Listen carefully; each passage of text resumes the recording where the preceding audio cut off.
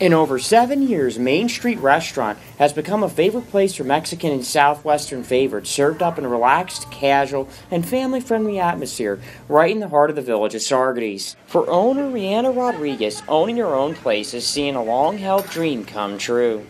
I started working for somebody else. It was my first job, and I learned that I really loved it and wanted to own my own business because I love to do it. I like to meet people. I like to eat food and enjoy the experience of dining out.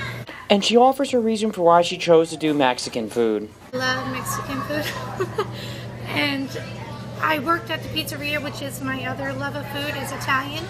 But I did that for so long, I wanted to do Mexican, which it was something different, and I thought it would be good to add something here local in town on Main Street and Saugerties. In Saugerties, Brian Hubert for the Daily Freeman.